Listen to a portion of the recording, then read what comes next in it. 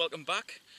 As my channel this year and forever onward is going to have a much more outdoorsy sort of feel to it, I thought I would just take this opportunity to head out into my back fields and local woodland, see what I can find, see what I can film and explain a little bit about the things that I find and film. I may not find anything, in which case I will now edit this out and I would have just been talking to myself. Hopefully we'll find something. Let's go. Here's a really beautiful plant called Lady's Smock. Comes out and flowers early season. Can be anything from reasonably dark purple through to white. Seems to change from area to area. Don't know whether that's based on the soil or the moisture content of the soil or what. That's a really nice plant. And apparently the leaves of this can be used in salads. I've never tried them before though.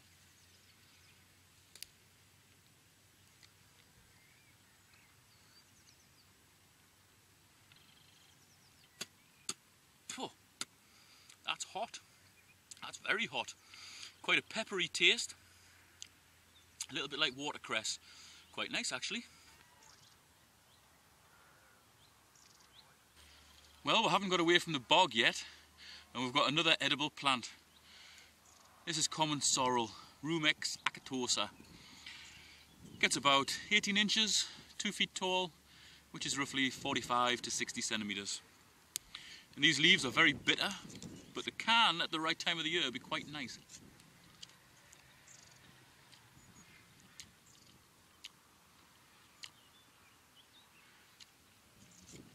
They're very nice. Early season leaves, very nice. Tastes very much like a new beech leaf, if you've ever tasted them. Quite zesty, very nice.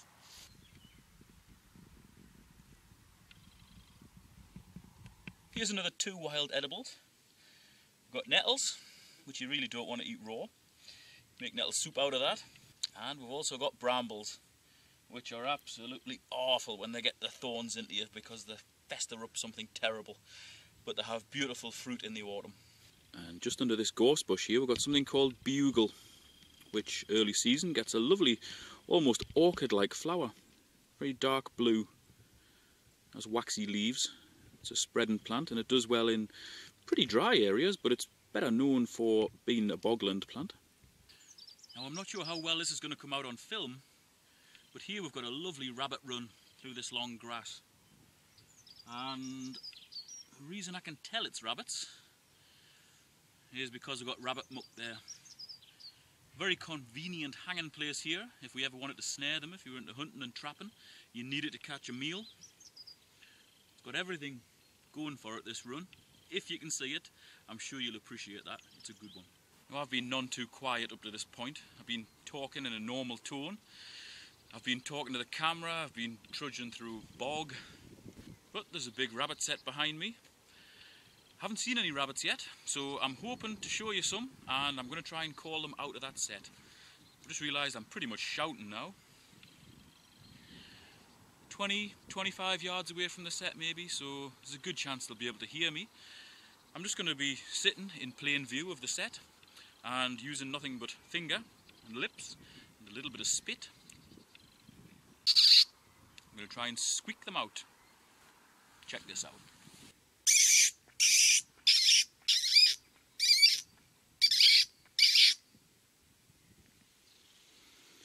There we go.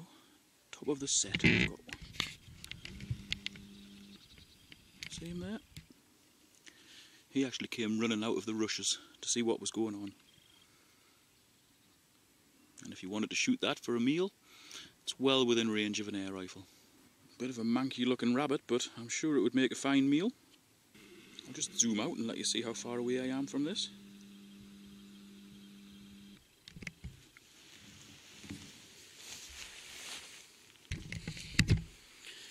Yeah, it looks a long way on film, but it's not that far at all. A decent air rifle would easily take that out. Alternately, if you weren't dying for a meal and didn't have to hunt rabbits, you might just want to get a good wildlife shot. It's a great way to get things to come close. Rabbits, any sort of predators that prey on rabbits, squeak, they'll come running straight to you. It's best to stay hidden from predators though because they're a little bit more wary. Owls, all sorts of birds of prey. Quite often you get those hovering right above you when you squeak. It's a great way to see wildlife very close. A cracking place here for rabbits lying up during the day. Got a run coming in here, one coming in from here, one coming in from here, all leading to this little place in the shade where the rabbit can get in, out of the sun and just sit there in the fresh air. Excellent if you're a hunter and you're creeping around very quietly because quite often in here the rabbit will just sit and watch you walk straight past. You see it first, you've got a meal. Got a common buzzard catching the thermal there, getting higher and higher and higher and then it'll go off in search of something to eat. Here's another wild edible. This is a hazel tree, you get the hazelnuts in the back end of the year. Unfortunately in the UK we have millions and millions and millions of grey squirrels. They tend to strip the nuts off before they're ready. So you've got to be quick, or you've got to be lucky, or you've got to be in a place where the grey squirrels are trapped and controlled. And the bottom of the hazel trees are well known for producing very straight wood. This one never gets coppiced because it's in a pretty wild part of the wood, but you can cut them right back and they come away with loads of really beautifully straight pieces of wood. Actually, all the way around here, we've got this stuff, which is Himalayan balsam. It gets five, six feet tall, maybe more in places. And in the late summer, it gets pods, about that sort of length, about three, four centimeters. Inside those pods, loads of little seeds. And the pod actually explodes when it touches something. Bang! It Fires its seeds all over the place. So this would have actually come from the river. Good quarter of a mile away. Every year, coming from a seed to an adult plant, boom, blowing the seeds all over the place, scattering them up the bank. Another plant, more seeds, boom, spreading up the bank a little bit more. So in essence, I suppose if you knew how far one of these things could scatter its seeds, you could guess or estimate how long it would take to cover a quarter of a mile. But I'm not going to work that out. I almost forgot to mention, those pods in the back end of the ear are actually edible. They taste quite nutty. They're a lot better when the seeds are brown or just turning black. They're a little bit bitter when they're green, but they're nice. Pretty nice. I wouldn't eat loads of them though. But me and the kids, when we're out for a walk, back end of the year, we eat quite a lot. And it's never killed us yet. Get in there. Like a kid in a sweet shop. We've got goosegrass, early season. Is an edible. It's not particularly nice, but it is edible. And we've also got wood sorrel. Looks a little bit like a clover. Yeah, that's really not nice. Wood sorrel is nice. More so early season. You don't want to be eating it from somewhere and beyond because it's pretty awful. Bang! That's got an absolute... It's almost like a, a, a palate cleaning zest to it. That's lovely. And the wood sorrel gets tiny little white flowers with a yellow centre. Beautiful little plant. And I think after eating that goosegrass, I'm going to have some more of this to properly clean my palate. Here we've got a well-worked fox set. I'll show you what the holes are like in a minute. But just here, something's taken a leak here. It's only just soaked into the ground. And it's 100% fox. Oh stinks. Dirty devils. Now the two main holes have got bedding dragged into them, which makes me think there's cubs in here. What a beautiful set. I'll have a look around, and with it being mostly sand, I should be able to find a good print or two. Uh, I can't see any fox prints there. There's partial prints, but there's nothing really good enough to film. But here's a very good deer print. Look at that. Boom, in there You'd have to be blind to miss that one. And not 50 yards away from where we saw that deer track, here's more evidence of deer. This is approximately three feet off the ground. And what I'm pretty sure has happened here is a deer with new antlers covered in velvet, like that, has wanted to get all that stuff off. So it's been rubbing them on this rough bark to get rid of all the velvet from its antlers.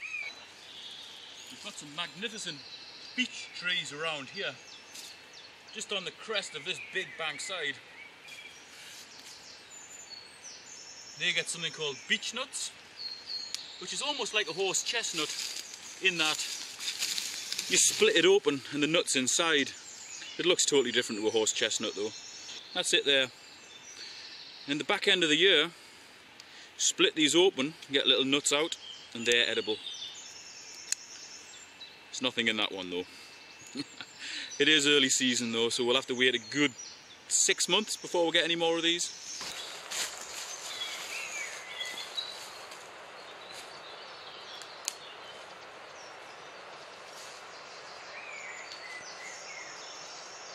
Here we've got a little stream entering the main river. Along the side of it we've got yet another wild edible. That one's called brook lime. It's actually sold in garden centres that one, to put round ponds.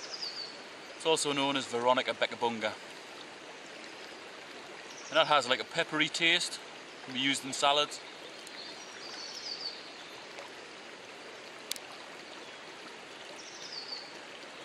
Yeah, it's quite mild. I think I should have brought my fishing rod as well because down here it is absolutely alive with flies. The fish are going berserk behind me.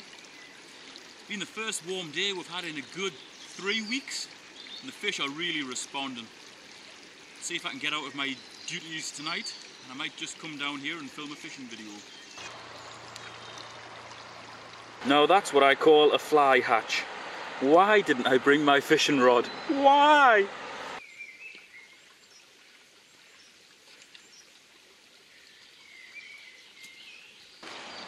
This is going to be the last edible that I find on this trip. Because that seems to be all I'm doing. I'm just filming things that you can eat. But there's just so much out there. That's the very distinctive flower of garlic. Quite mild garlic. Flower's edible, leaves are edible, and if you dig down, you get quite a nice long bulb, which is also edible. Just in case anybody's in any doubt what a garlic plant looks like, here's a textbook one. This is absolutely beautiful.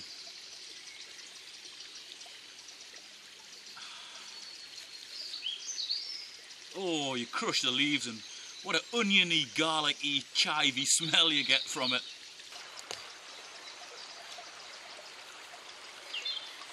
There you go.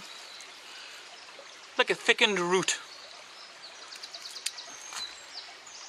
And that's garlic. Mmm, mmm, mmm.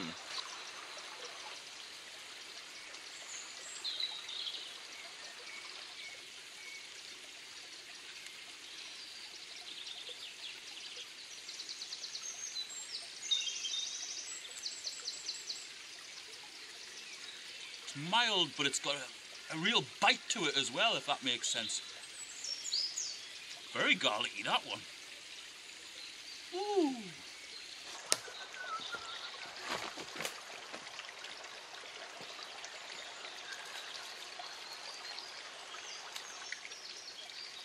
here's something a lot of people would have walked past. There's a fallen ash limb here. And on here, we've got a fungus, which is called cramp ball fungus. You'll have probably seen this in one of my previous videos. This is one of the best tinders you can get for fire lighting. And all year it seems to stay dry. It's got a really hard exterior. It's almost like a little black golf ball. But when you get inside, it's almost like a charcoal cross with wood. Drop a spark in there, and that burns so hot you can set practically anything on fire with it. Now unfortunately I've come out today with only my camera and phone. So I've got no way of lighting this. But if you're interested in seeing just what a great tinder this is, check my bushcraft and survival playlist on the channel. Look for one that is about cramp ball fungus. You'll find out all about this stuff. It's excellent. There's just so much out there to get excited about. This is a fern, very waxy leaf, very dark green, grows in extremely shaded places. Called Hart's Tongue Fern, and as an ex-landscaper, this really excites me. This is perfect when you're building stone tunnels. You can put it in underneath the tunnel and it grows in a moist, dark environment. It's excellent to put in dry stone walls. It's a beautiful plant. Yeah, in pools like this you might get the odd little trout. Six, seven inches long would be a monster. But it's not these pools that I'm interested in, it's something else. If you get migratory fish, especially sea trout, salmon, coming up these little streams, there's one place you can really cash in.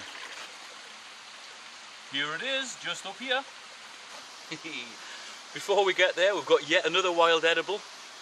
There's a tiny little stream coming down here from the bankside, and in it we've got loads of watercress.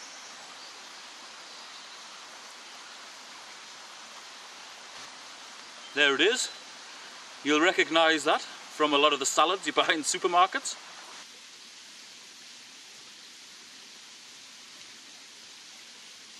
That's very, very peppery. Totally different from anything else I've eaten so far today.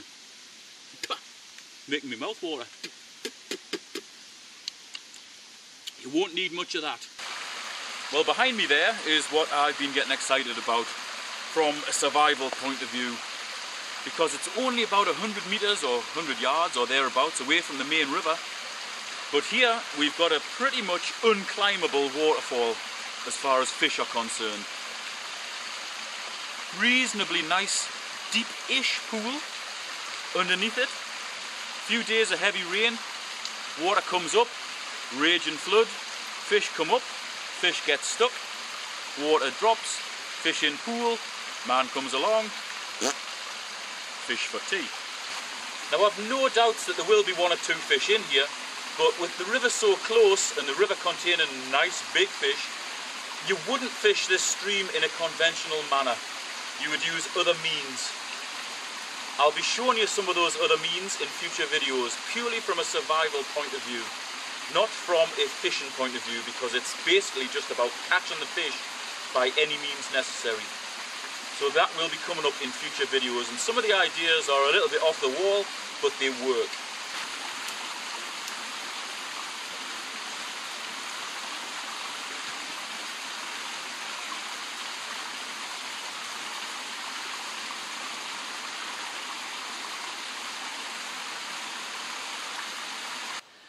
If you've made any bivvies or shelters outside, you know how awesome ferns are for covering it. These are only just coming out, they're still unfurling. But these get really big, I don't know, three, four feet tall. Chop them off at the bottom, use them on the sides of your shelters. They keep it lovely and watertight.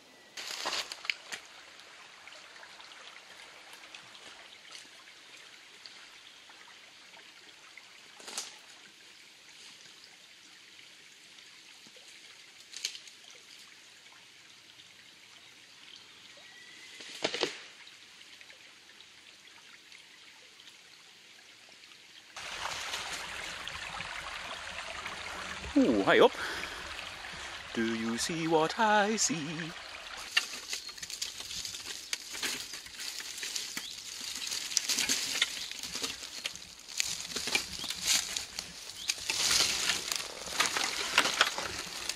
Ah, here's a few more animal tracks and signs. Here we've got hazelnuts eaten by a little wood mouse.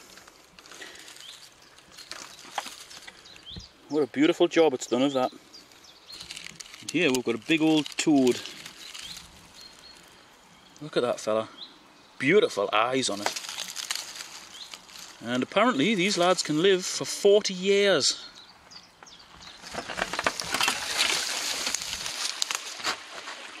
Just realised what time it is. I've got to go quick now. There's just so much to see that I've ran on a little bit.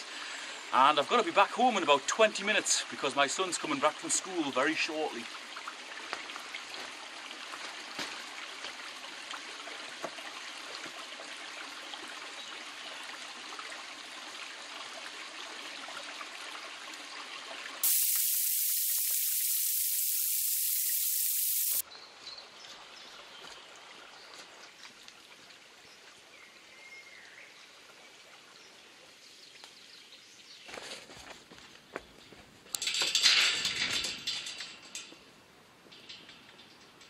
Well, I hope you've enjoyed that little quick walk out into the woods, fairly near my house.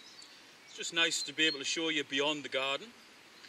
Although the garden is pretty good, and I do love being here, living here, and indeed working here from home, it's always nice to get out along the river, up into the woods, up the streams, and see what's about.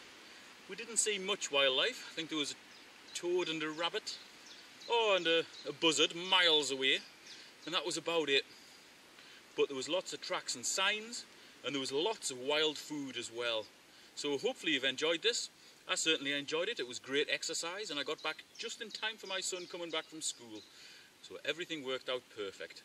Thanks very much for watching. I'll catch you in the next video.